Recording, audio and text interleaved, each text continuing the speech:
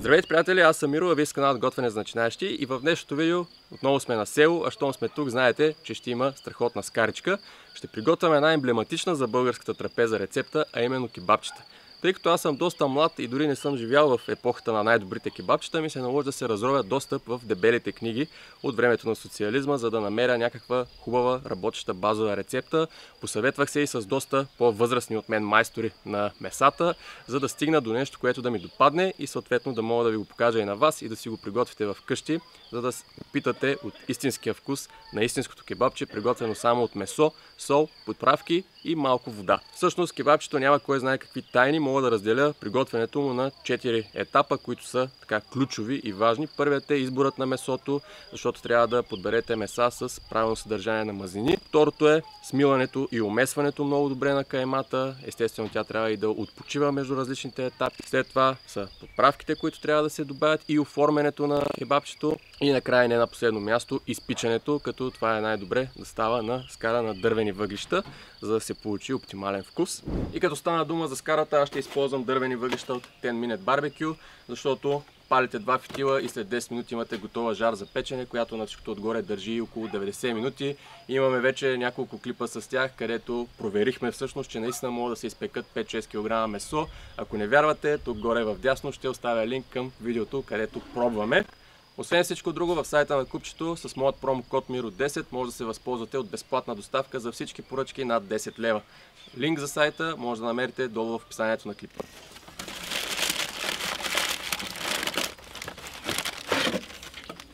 Ето от едната страна единият фитил и от другата страна другият фитил. Докато купчето се разпали за 10 минутки, аз ще си сипя една биричка, а оставям на вас да видите как приготвих кебабчета. За тези от вас, които се интересуват къде могат да си намерят купчето с дървени въглища, има го в почти всички големи хранителни вериги, включително Kaufland, Metro, също така и по някои бензиностанции, а вече може да го поръчате онлайн директно и от техният сайт. За кебабченцата пред мен съм приготвил около килограми 200 бекон или може да използвате свински гърди без кост, както и около 800 грама джуан без кост. Сега това, което трябва да направя е да почистя съвсем леко джуанчето, да нарежа бекона на парченца по около 100 грама, след което ще ги претегля, за да видя колко е останало чистото тегло и добавям 2% сол. Обърквам хубаво и смилам на решетка между 3 и 4 мм, моята е 4, но и на 3 ще се ви свърши работа. След това оставям така смляното месо да отлежи за 24 часа в хладилника на температура между 0 и 6 градуса. Това е цялата философия. Както ви казах в началото, тази рецепта е по книга Червеният рецептурник от а, Соца, но там не е упоменато точно кои части на месото са използвани. Затова аз реших да се поразровя малко повече и установих, че кебабчетата се получават най-добре, когато имат мазнина около 30-35%. Т.е. доста а, трябва да е мазна каймата, защото по време на печенето, знаете, част от тази мазнина изтича. Друга част обаче, която е направила емулсия с водата, която ще добавим в последствие, утре когато сложа и подправките, остава в кебабчето и го прави изключително сочно. Месото трябва да се обезципи и да се махнат всякакви жили и ето тези ципички, защото те не се стопяват при готвенето и са доста неприятни. Ако нямате машинка за мелене на месо, разбира се, може да помолите в месарницата просто да ви смелят нужното количество от месото, което вече сте си избрали. Хубаво е месото да е на тънки дълги парчета, така мелачката сама си го взима и не се затруднява. Месото вече е почистено и нарязано, сега го изтеглям. Моето е 1,9 ще го смятам закръглено 2 кг. За 2 кг 2% са 40 грама сол изсипвам, бърквам добре и сега ще смеля, като ще оставя в плоска тавичка на сравнително тънък слой, за да може хубаво да се охлажда месото. По принцип тази кайма може да се използва абсолютно спокойно и за кефтета, просто трябва да се добави и 100 грама лук на килограм кайма. Аз лично обичам да добавям и щипка чубрица, малко пресен магданоз или пък лука може да се замени с пресен лук, става чудесно, но той трябва да се добави малко преди печенето. Така е приготвената заготовка от смляно месо, стречовам плътно с фолио. Сега прибирам в хладилник на температура 0,6 градуса за 24 часа и ще се видим утре. След 24 часа месото ни вече е отлежало, поозряло е и сега идва ред да добавим ароматите, които са 5 грама черен пипер и 5 грама кимион, който е цял, тъй като искам да ги мина през тигана. А, може би на някои хора това количество ще им се стори малко за 2 кг смес, но точно това минаване през топлия тиган ще отвори аромата допълнително и ще го вкусят доста добре. Ще добавя и ледено студена газирана вода, като нейното количество за съжаление не е точна наука и може да върна между 50 грама до 200 грама, т.е около 10% е тавана от теглото на месото ни. Трябва да се следи каймата, колко поема, колко има нужда. Малко ще ви покажа вече готовият резултат, как трябва да изглежда. Имаме два варианта. Единият е да си ги умесим директно на ръка, което става малко по-бавно, по-трудно. Другият вариант е, ако разполагате с миксер, директно да си го използвате, става много по-бързо и много по-лесно. И сега, за да си улесня малко живота, след като добавих и подправките, ще умеся каймата на миксера. Ползвам приставката, която е лопатка, някои наричат листовидна. След тая, важното е, че ще свърши работа. Към сместа добавяме половината от газираната вода горе-долу и вече в последствие ще реша дали да добавям още.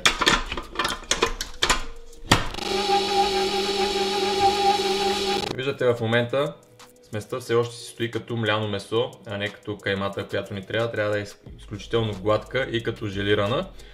добавях и останалото количество вода и сега пускам за още няколко минутки да се поумеси. След няколко минутки сместа вече изглежда по коренно различен начин. Сега ще ви я покажа. Това е нашата смес.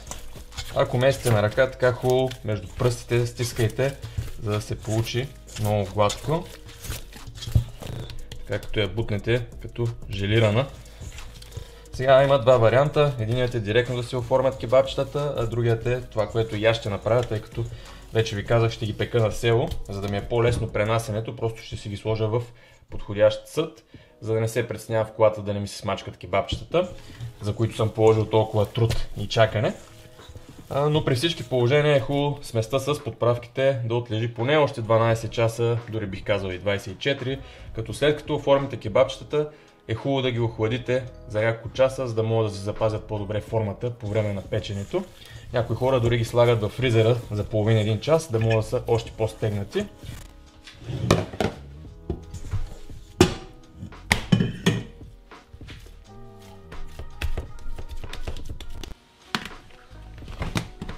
Се видим вече на село при оформянето на кебабченцата.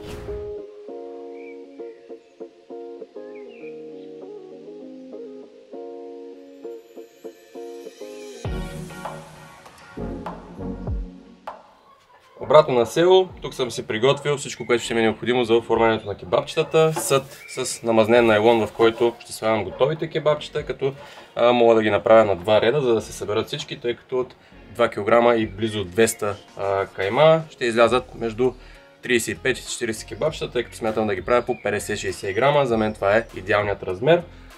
Оформянето ще ви покажа два метода. Единият е с помощта на сладкарски пош, който според мен е доста лесен. А вторият метод е с помощта на малко по-дебела найлонка. Между другото, това е много добър метод и според мен дава най-добри резултати. Видях го от Джоко от канала Yami Yami, споменавам го за пореден път в това видео, но наистина човека има знания и опит, така че ще оставя линки към неговото видео, защото е малко по-различен прочит на тези кебабчета. Сега, може, ако и вие като мен оставите каймата да почива за 12 или 24 часа, да я разместите преди да ги оформяте, за да омекне малко, така по-лесно ще ги направите. Аз вече поумесих моята. Тук съм си приготвил малко вода с оцет, тъй като когато ги оформяте с поша, стават малко по-рошави и просто с намокрени ръце много лесно се заглаждат и си ги редя в тавата. Когато почнат е пълен, е много по-лесно да го хванете по-надолу и така да изтисквате сместа, отколкото да се напъвате отгоре, защото ръката ви много бързо ще се измори. Както казах, гониме 50-60 грама на кебабче, което е около 12-15 см на дължина. Диаметърът, който съм срязал е около 3 см.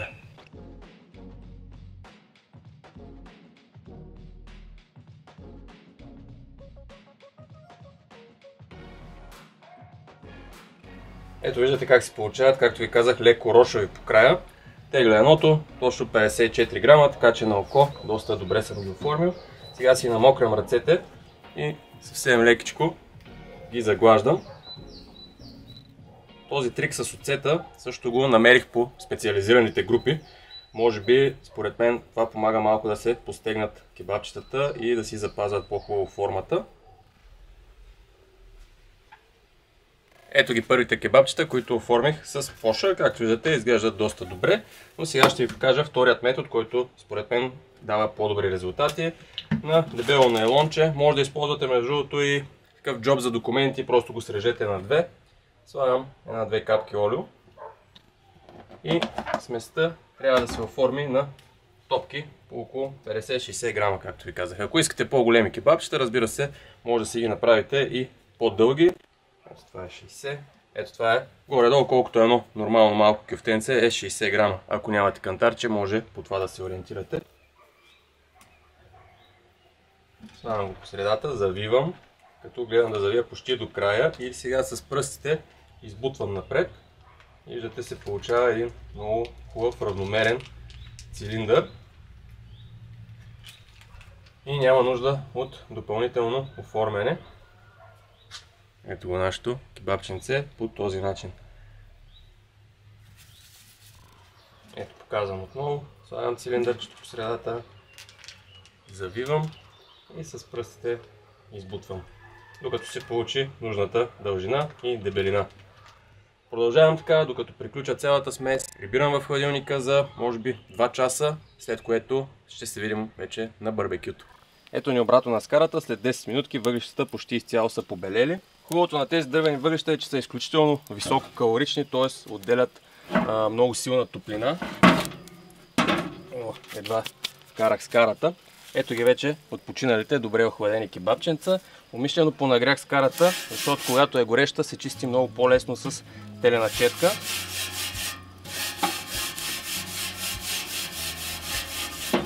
Мина скарата и с половин глава лук. Ако нямате сланинка, което е най-добрият вариант да омазните скарата, за да не ви залепа кебабчето, другият вариант е с помощта на главата лук и малко олио да разнесете мазнина. Ето по този начин. И сега ще ви покажа всъщност за изпичането как ги редя аз. Тъй като кебабчетата, знаете, се въртят в едната посока. Ако ще ги въртите надясно, започвам от дясно да редя наляво, като оставям малко място да имам на къде да ги завъртам. Ако ще ги въртите наляво, просто започвате от ляво, така първото кебабче винаги ще ви е от тази страна. Аз решавам, че ще ги въртя наляво, затова започвам да ги редя от ляво надясно.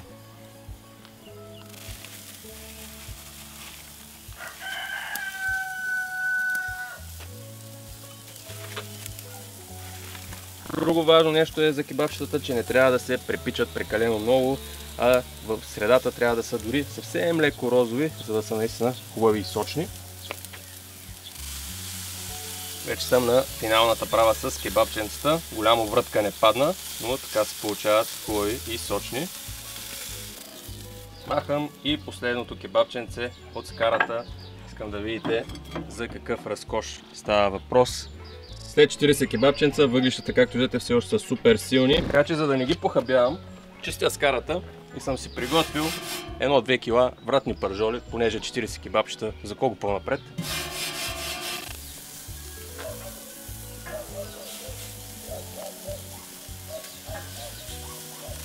За пържолите вече отварям барбекюто, да могат да се сготвят малко по-добре и да се опушат вътре хубаво. Сега искам да ви покажа едно кебабче и отвътре. Сигурен съм, че направо ще експлодира. Сега ще го опитам. Надявам се, се вижда колко е сочно. Кебабчетата се получиха точно по моят вкус, леко пикантни от черния пипер, ароматни от кимиона, с хубавото месо, хубавите дървени въглища, които пък да предадат приятният опушен аромат на печено месо.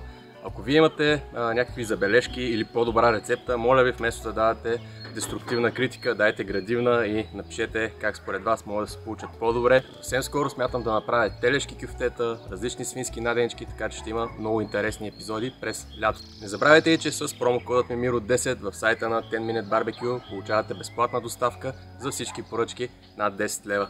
Както видяхте, с купчето всичко е супер лесно, не се цапате и само за 10 минути получавате нова жар.